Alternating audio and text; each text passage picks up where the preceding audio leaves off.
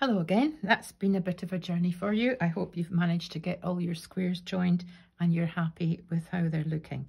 You might find that um, on the outside edge there are little dips appearing um, along where the, the squares are joined.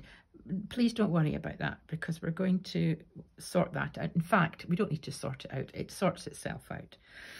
We're going to now do one more round before we can call this section one complete. And what I'm going to do is a round that goes around the outside of just simple treble clusters. That is going to give us a slightly deeper border because I'm going to be using the same shade of purple. Um, it will help to pull those bits up. In fact, if I just do that, you can see that they do pull up quite easily, but um, that will help to straighten this off and it will also give us a really nice straight edge for section for the beginning of section two.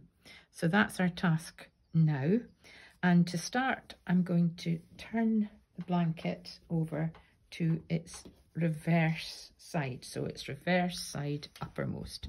You, if you've got um, stitch markers, and on the front you'll hear them clickety-clacking on the table. And we're going to be working, as I said, with treble crochet stitches. Of course, we did, we used half treble for all the um, joining round, but we're going back to treble for uh, this round. And I'm going to attach my yarn in any corner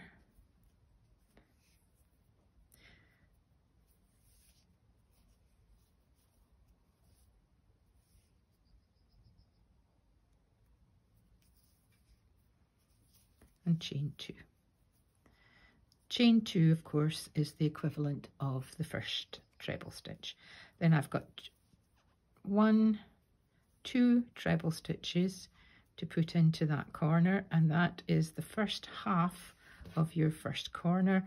And of course, that will be completed when you come all the way around the four sides. And then all you need to do, quite simply, is three treble stitches in each of the spaces along the side.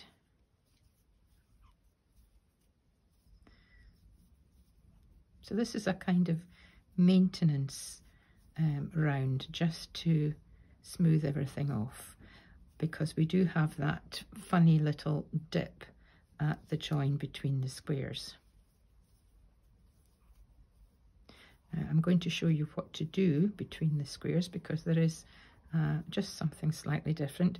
If you've done some of my patterns before, you'll probably go, yes, I know what to do. But for those of you who are working for the first time one of my patterns, or maybe have even forgotten and need to have your memory jogged, then um, I'll show you. So we're nearly there.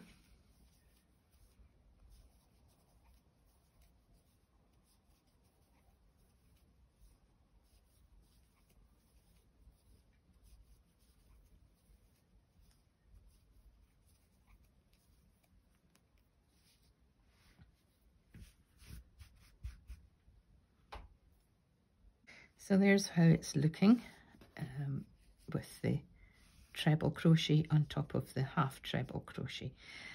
Um, I'll just say very quickly here that this is often a flashpoint where mistakes are made and it can really throw out the count for the rest of the blanket and it's something that so many people when they come to me um, and say that things aren't working out when we look back at what they've been doing, this is the problem. They've forgotten to do the outside edge of the join as you go. So remember that when you've come all the way around with your join as you go, you've still got the outside edge to do. Each of these squares has to be outlined in half treble stitch on all four sides. So you've, you know, when you're doing your um, continuous join as you go, as the, the last video explained, you've got this outside edge to do. And if you don't do it, you'll be one treble cluster out for the count for the rest of the blanket. So just bear that in mind. And it's very easy to make that mistake, mistake particularly when you're working your um, next round, as in this case, in the same colour, because it can look quite difficult to tell whether there are one or two rounds. But remember, you've got this half treble round and then the treble. Okay, now we've come to this corner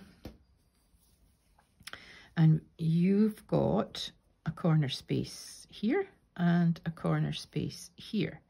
Now, if you were to put treble three in that space and then treble three in that space, you would end up with far too many treble clusters. And what happens to a blanket when you've increased the number of clusters is that it starts to get a bit wavy and obviously the rest of it doesn't fit. So we need to put, instead of a cluster here and a cluster here, we're going to put a treble cluster that sits, one treble cluster that sits right on top of the join, completely dead center above the join.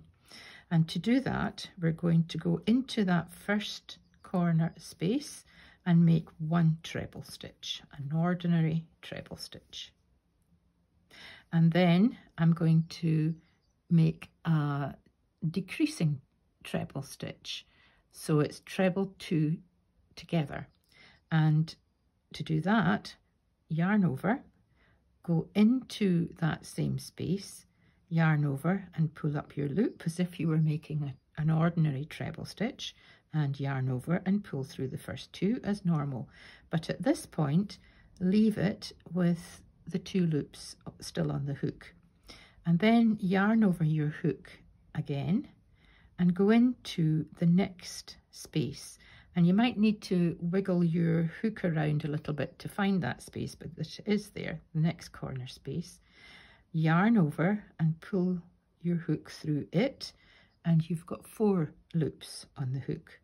Yarn over, pull through the first two loops, and then yarn over and pull through the last three loops like that. And if you look, I don't know whether you can see that, how clearly you can see that, but we have a treble one and then this upside down V shape, which is actually two stitches at the bottom, but it's just gone into one at the top. And then we finish the cluster with a treble one. Now, if you look, you can see that we have, let's see if I can pick up my needle, we have the previous treble three cluster here, and you, if you look at the top, you've got one, two, three stitches on the top. And then you have this slightly different looking treble cluster here. And although it looks as if it's got four stitches at the bottom, again, it's still just got one, two, three stitches at the top. So that is our uh, cluster, our decreasing treble cluster, which is sitting on top of that join.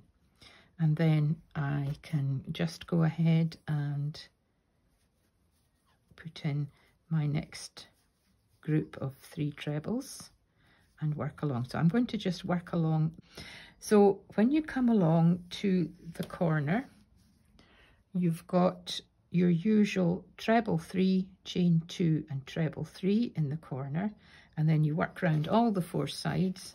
And when you get to the very last corner, uh, you've already got the, your chain two and treble two in it. So all you need to do is treble three, chain two, and then slip stitch into the top of your first chain two and you can fasten off. And that will be section one finished. So I'll come back when that's done and uh, we'll be ready to start section two. See you then.